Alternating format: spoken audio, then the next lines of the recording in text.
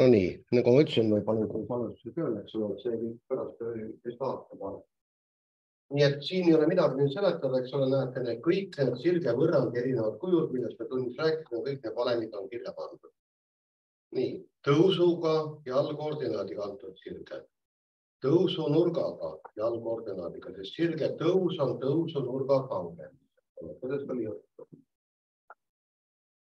nii punkti ja tõusuga määratud sirge.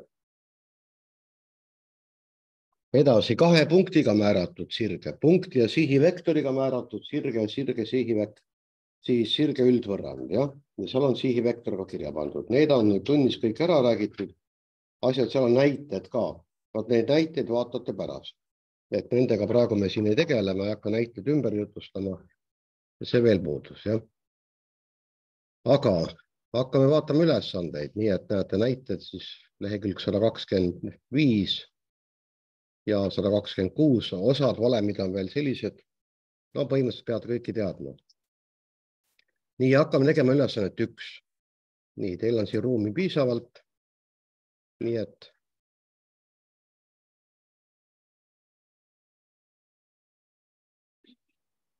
nii, ülesanne üks, näete seal on siis mitu alaülesannet, nii panete kõigepealt valemi kirja ja kirjutate, panete need koordinaadid siis sinna, mitte ei hakka kohe kirjutama mingisugust valemi või võrrandit, eks ole, vaid algul panete valemi ja siis panete võrrandi. nüüd hakkame vaatama, näete, kui on kaks punkti antud, see on kahe punktiga määratud sirge. nii nagu ma teile ütlesin, eks ole, et te võite ju kirjutada siia peale X1, Y1, X2, Y2, kui soovite. kui ei taha, ei pea kirjutama, aga siis on enda valida. nii. ja kellel on valem juba meeles, eks ole, valemit mina praegu siia ette ei kirjuta, aga teil on valem vihikus olemas, loomulikult seal tööraamatus ka keerate lehe tagasi, saate vaadata. ja need valemid peavad peas olema nii et kahe punktiga määratud sirge X miinus X1, järelikult tuleb teil X lahutada neli. nii. X2 miinus X1, nullist lahutame neli, tuleb miinus neli. on.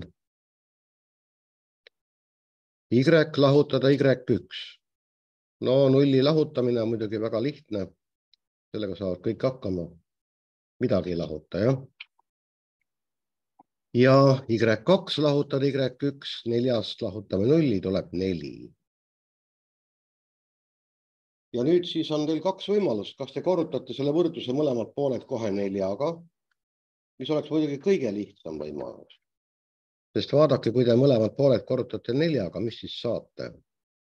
neljad hävivad. ja nüüd pange tähele, vasakul pool on miinusmärk, jah, see jääb siis sulgude ette. nii et tuleb miinus X miinus neli. aga paremale poole jääb kohe Y. aga me Y-it otsimegi, me avaldame Y-i. nii et keerame selle võrdluse nüüd teistpidi. vahetame ära võrdluse vasaku ja parema poole, teeme sulud lahti. tuleb miinus X pluss neli. näete, kahe punktiga määratud sirge nüüd, kui te tahate kontrollida, kas see sirge on õigesti koostatud, sirge võrrand, ega midagi muud üle ei jää, te võtate esimese punkti, panete X-i asemele nelja, vaatate, kas Y-i väärtus tuleb null, tuleb või ei tule? tuleb, jah. nüüd võtame teise punkti, paneme X-i asemele nulli. kas Y-i väärtus tuleb neli? tuleb küll, järelikult mõlemad punktid istuvad rahulikult selle sirge peal järelikult ongi nende punktidega määratud, sirge võrrand on õigesti koostatud. nii, ja nüüd te teete ära rõõmsalt siis B ja C. täpselt samamoodi. annan siin natuke aega, aga mitte väga kaua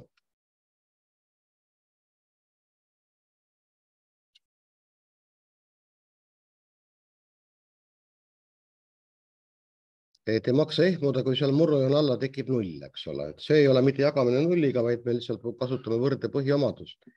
nii et B võrrandi korral, eks ole, panete X miinus kaks. X miinus X üks. nii, viiest lahutame kaks, kolm. Y miinus Y üks, Y miinus kolm. nii, ja siis tuleb Y2 miinus Y1 ehk kolm miinus kolm, see tuleb null. ja nüüd võtame vastavalt siis võrde põhiomadusele ühtepidi korrutise selle, kus on Y sees, võtame esimesena. kolm korda Y miinus kolm. null korda ükskõik mis asi annab nulli. mõlemad pooled jagame kolmega. ja saate, et Y miinus kolm on null ehk Y on kolm. ja kui te nüüd hästi hoolega vaatasite, siis te nägitegi, et tõepoolest näete, mõlemad Y koordinaadid on nullid või kolmed tähendab. et oleks võinud rahulikult kohe ära kirjutada, Y on kolm. ja nüüd, kui te selle C teete, seda ma tõesti enam ei kirjuta siia, siis te saate loomulikult tulemused, võtate need kaks punkti ja näete, X koordinaadid on võrdsed kahega järelikult see sirge võrrand on X on võrdne kahega. ja kui on vaja kirjeldada, vot siis Y võrdub kolmega, X teljega paralleelne sirge, nii nagu Matilda ütles ja teine X võrdub kahega, eks ole, sealt tuleb siis Y teljega paralleelne sirge. nii. D. ahhaa nüüd te peate valemi üles otsima, ega siin midagi tarka muud ei ole, kui pea sees veel ei ole, siis tuleb üles otsida. aga need tuleb meelde jätta. Neid on ikkagi väga vähe, neid valemeid peaaegu ei olegi. nii, punkti ja tõusuga määratud sirge. nii, panete kirja ilusasti. Y miinus Y üks on K korda X miinus X1. tõus on K ja punkti koordinaadid on X1 ja Y1. punkti ja tõusuga määratud sirge. tõus on kolm, punkt on antud. nii. nüüd vaatate, et siin midagi koordinaatidega ära ei vusserda. Y lahutada üheksa on, tõus on kolm, X miinus X1 X miinus kaheksa. ja saategi kätte selle võrrandi, mis siis tuleb? kolm X-i lahutada kakskümmend neli, aga üheksa tuleb üle plussiga, jah. nii et kolm X-i liita viis eh,, lahutada viisteist, jah. on nii. nüüd vaatate kontrolli koht on jälle olemas, tõus on kolm, K on kolm, X ees on arv kolm, on küll. võtame selle punkti, paneme X asemele kaheksa. kolm korda kaheksa on kakskümmend neli, sealt viisteist maha tuleb üheksa. tuleb, tuleb, aga meil on punkti Y koordinaat üheksa. nüüd E on muidugi vastikult sõnastatud. vaadake, teile on antud punkt U ja selle sihivektor on kollineaarne vektoriga üks ja kolm. meil on üks valem, mis on punkti ja sihivektoriga määratud sirge, on ju nii? aga teil ei ole öeldud, et sihivektor, teil on öeldud sihivektoriga kollineaarne vektor. kas selle sihivektoriga kollineaarse vektori võib võtta sihivektoriks? muidugi võib. sihivektor, kui on olemas ja temaga saab tekitada lõpmata palju kollinaarseid vektoreid, eks ole. et kui ma teen siin, ma teen ühe väikese selgitava pildi ka teile. see on juba küll nagu beebikooli värk, aga noh, hea küll, olgu. teeme siis sellise asja siia. et võtan ühe sirge. ja kui ma siit sirge pealt nüüd võtaksin mingi kaks punkti, suvaliselt kaks punkti ja tekitan siit mingisuguse vektori, vektor S. olete nõus, et see on sihivektor? on küll. kui ma seda vektorit korrutan arvuga neli, siis saan uue sihivektori. kui ma korrutan arvuga miinus kaks, saan veel ühe sihivektori. vot need kaks uut vektorit ongi selle ühe sihivektoriga kollinaarsed vektorid. ja loomulikult ma võin võtta siit väljastpoolt sirget ka, eks ole, näete. Noh, üritan teha enam-vähem paralleelse. näete, vektor n näiteks jah. see vektor n on vektoriga S, kollinaarne vektor, on paralleelne. samuti sihivektor. nii et järelikult näete, mis on siis punkti ja sihivektoriga määratud sirge. X lahutada kaks. sihivektor esimene koordinaat on üks. Nii, Y lahutada Y üks, no Y lahutada null, seda me nulli ma lahutama ei hakka. ja mis siis tuleb, sihivektori teine koordinaat, jah, kolm. ehk Y on kolm X-i lahutada kuus. on, on küll. Nüüd ma tuletan teile meelde ühe asja, me sellesama võrrandiga teeme sellest võrrand, selles ülesandes pole öeldud, et me peaks tegema, aga ma praegu ütlen lihtsalt, et me teeme. kirjutame selle sirge võrrandi, mis me saime üldvõrrandina. kuidas üldvõrrandi kuju oli?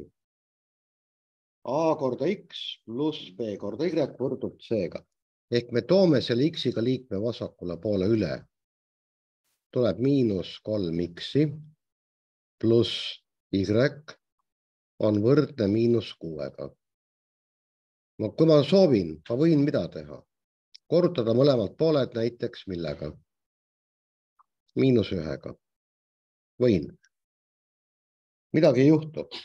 teeme seda kui keegi küsib, et miks ma teen, siis ma ütlen, lihtsalt tahtsin. ega mingit muud, muud põhjust ei ole. kui ei oleks tahtnud, ei oleks teinud. Aga kuna noored daamid tõid mulle lilli seal kruusi sees on nad käisid spetsiaalselt mulle korjamas. siis ma, hea küll, ma täna olen lahke, ma korrutan miinus ühega. nii, nüüd kirjutame siit sellest sirge võrrandist välja sihivektori, kuidas see oli? tuletan meelde, AX pluss BY võrd, see muide on seal sada kakskümmend viis lehekülge olemas, siis sihivektor on ja see on üks sihivektoritest, aga ma ütlesin, neil on lõpmata palju, miinus BA ehk Y kordaja võetakse vastupidise märgiga, tuleb üks, tuleb üks, küll. A on kolm, on. Mis veel ülesandes on sihivektor? Üks ja kolm, klapib, klapib. nii et näete, see sirge võrrand Y on kolm X-i miinus kuus on täiesti õige tulemus. kogu lugu. vot nüüd F tuleb välja mõelda ja G tuleb välja mõelda, aega selleks kolm minutit, mitte rohkem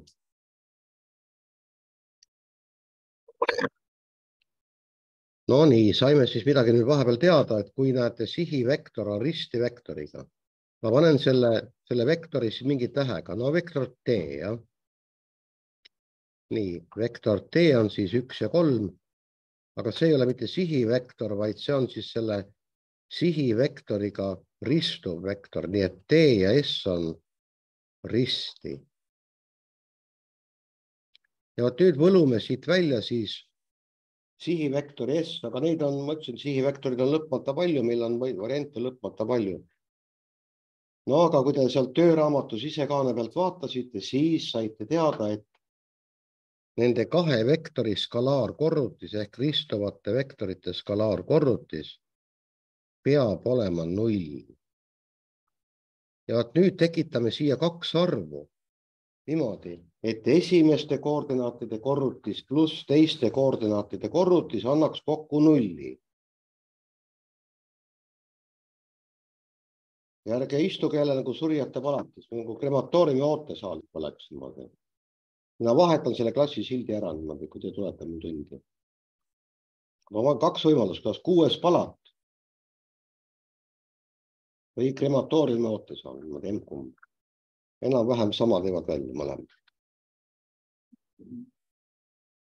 me kasutame, ma näitasin teile, me kasutame ära needsamad arvud, aga me tõstame nad teistpidi. Ja nüüd sellest veel ei piisa. kui ma tõstan kolm ja üks, siis ei tule skalaarkorrutis null, ma pean midagi veel tegema. mis ma, räägib täislausega väljendaga, ärge häälitsege mind. miinus kolme, aga ma ei taha miinus kolme äkki, mis ma siis võin panna? miinus ühe võin ka panna, just. ma pean panema, sokutan kuhugi siia miinusmärgi, panen siia siis, noh, nii nagu, kuigi ma ütlesin, ma ei taha, aga ma panin ikka. nii, mis siis tuleb skalaarkorrutis, kontrollime ära, T ja S-i skalaarkorrutis. üks korda miinus kolm on miinus kolm, pluss kolm korda üks on kolm, tuleb null, tuleb küll. järelikult kaks vektorit ongi risti.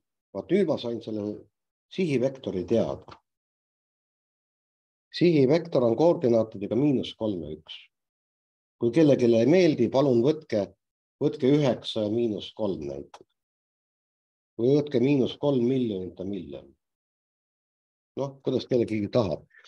aga nüüd on olemas teil punkt ja vektor ja nüüd panete kirja X lahutada kaks. sihivektor esimene koordinaat on miinus kolm. edasi Y lahutada null, jah, no jälle ei lahuta. sihivektori teine koordinaat on üks. miinus kolm Y-t üks korda x miinus kaks on x miinus kaks. ja viimane samm. mõlemad pooled jagame miinus kolmega. ja saame y on miinus üks kolmandik x-i.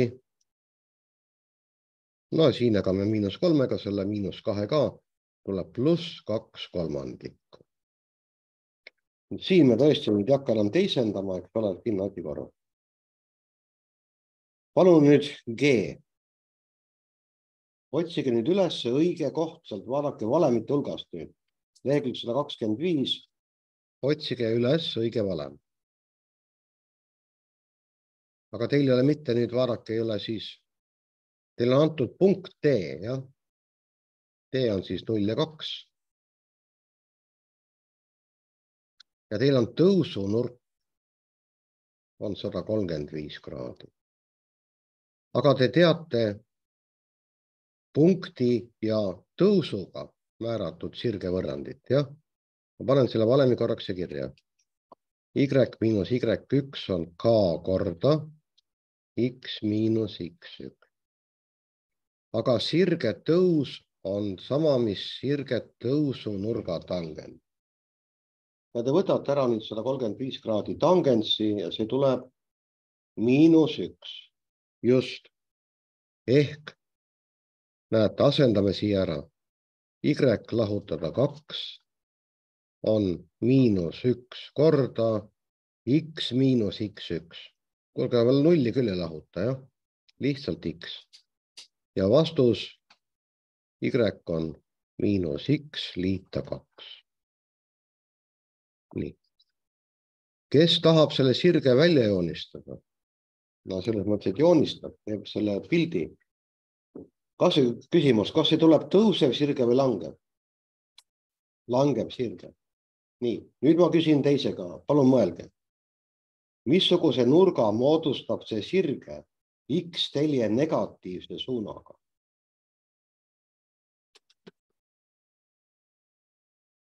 teravnurga, väga diplomaatiline vastus nelikümmend viis kraadi, jah, ma tahtsin nurka, teravnurga, loomulikult, eks ole. see on täpselt sama hea vastus, kui kunagi ma mäletan, üks tüüp oli mul, ma ausalt öeldes ei mäletan, kes ta oli, aga kui tema käest midagi küsida, siis alati vastas niimoodi, aga mis te ise arvate? no vot nii, nii et eh, olgu peale, noh, selline, sellised eh, vennad mulle meeldivad, et noh, jah, natuke teravne olla. nii, aga saite mõttest aru?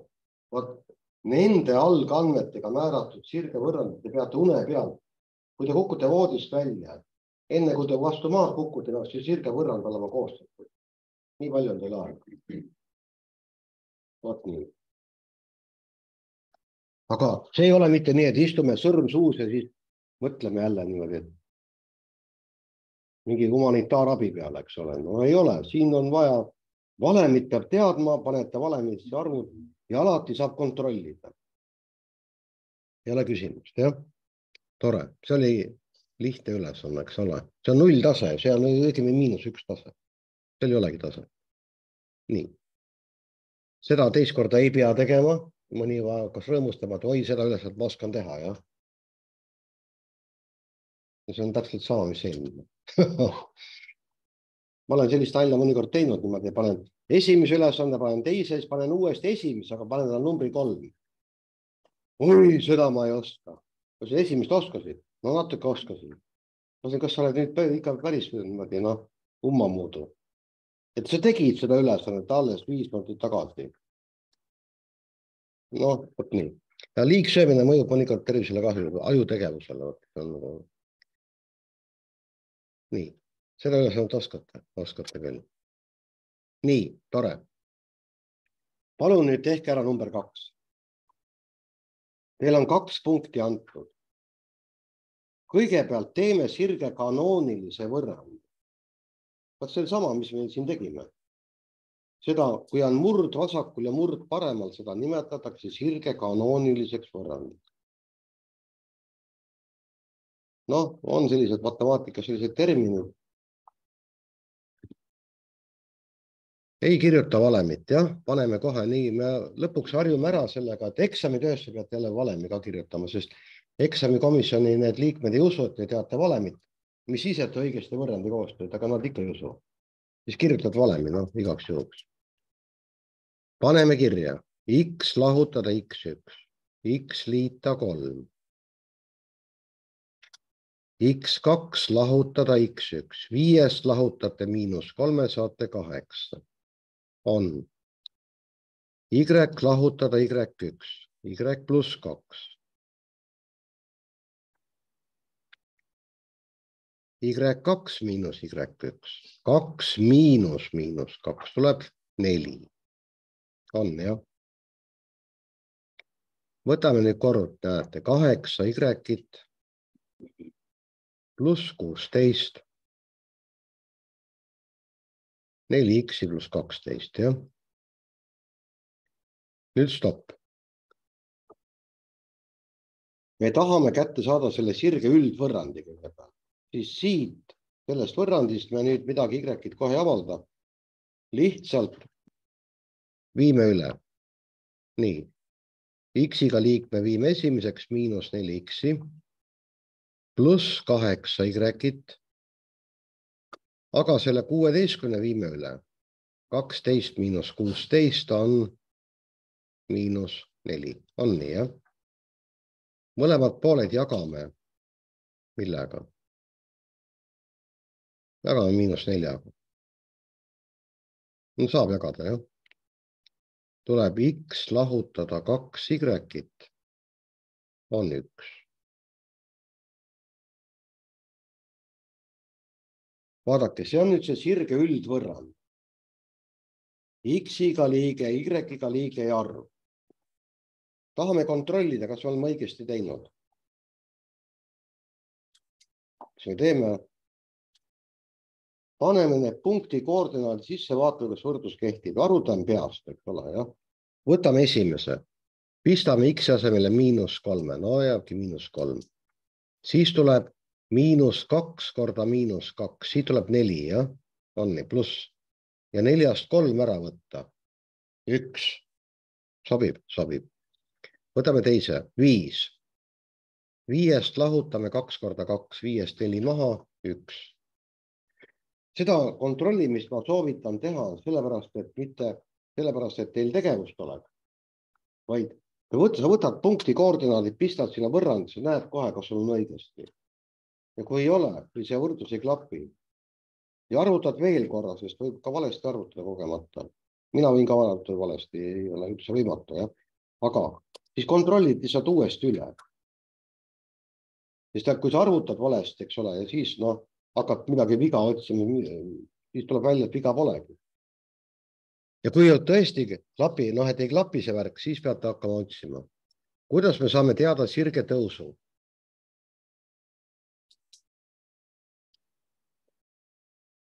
Vot nüüd avaldame sellest võrrandist ilusast Y-i. nüüd on siin väga lihtne seda avaldada. miinus kaks Y-it on miinus X pluss üks, on nii?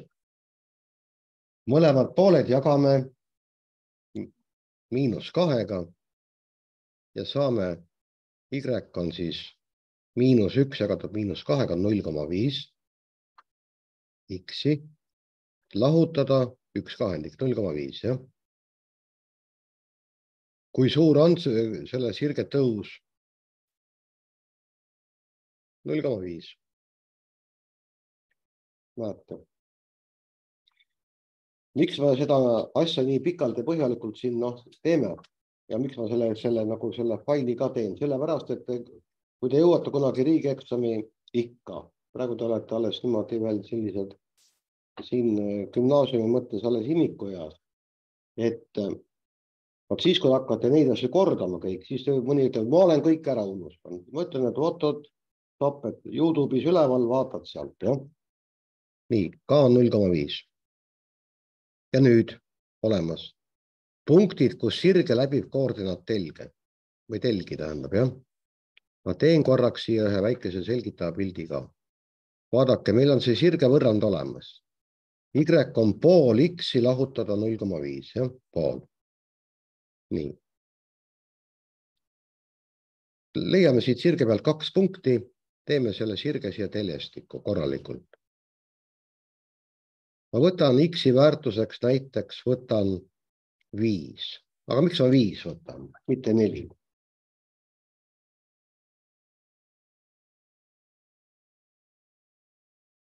Selleks, et ma saaksin selle Y-i täisarvuga, täisarvu mul on jube hea märkida, mul on kõiki poolikuid ja kolmandikke hulga raskem, sellepärast mugavuse pärast, mugavus maksab. nii, viis, null koma viis korda viis on kaks ja pool, on nii, võtan pool ära. Tuleb kaks. nii, nüüd, kui ma võtaksin näiteks X-i väärtuseks üheksa, null koma viis korda üheksa, neli ja pool, neljast ja poolest võtan pool ära, neli, jah, on ju nii. ja nüüd näete, kui ma panen siia nüüd eh, telgedele nimed juurde. vot nii, märgime ära kaks punkti. Viis ja kaks, nii kaks, kolm, neli, viis, näete, see üks punkt on siin, üheksa ja neli, nii neli, viis, kuus, seitse, kaheksa, üheksa, kaks ja neli. ahhaa, läbi nende kahe punkti joonistati ilusasti selle sirge siia. tuleb siit jah. jah. no rohkem pole vaja, no me ei saa teda nii ka teisele poole ka veel. Nii, nüüd panen tükkides kokku. vot nii. ja kirjutan juurde siia, teie seda ei pidanud tegema, aga ma, kuna ma tegin juba, siis ma teen nagu korralikult lõpuni. null koma viis X-i lahutada null koma viis, jah. küsimus, missugustest punktidest läbi nüüd see pilt ei ole selles mõttes hea, et aga ma teen siia alla sellise samasuguse asja, vaadake nüüd, kui on X ja Y telge, kui, kui sirge tuleb siit niimoodi. praegu ükskõik, mis pidi ta tuleb, see ei ole tähtis. kui sirge lõikab koordinaat telgi siin ja siin. no ma teen nad punktid teist värvist, nad paistavad paremini välja, vot see punkt siin ja see punkt, punkt A ja punkt B kui sirge lõikab X telge, siis missugune koordinaat on null? mis koordinaat on null? Y on null, on ju nii, eks ole? näete, siin on null, jah. nii, kui see sirge lõikab Y telge, siis on X-i väärtus null. järelikult me võtame kordamööda, teeme ühe väikese tabeli siia juurde nüüd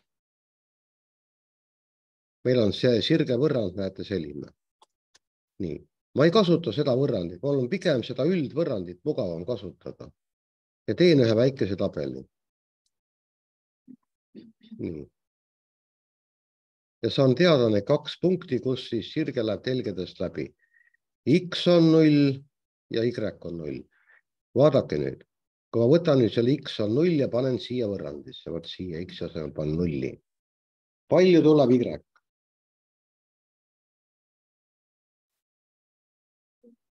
Miinus null koma viis. Te näete, et see sirge läheb siit läbi tõesti miinus null koma viiest. nüüd teine punkt, kui Y on null.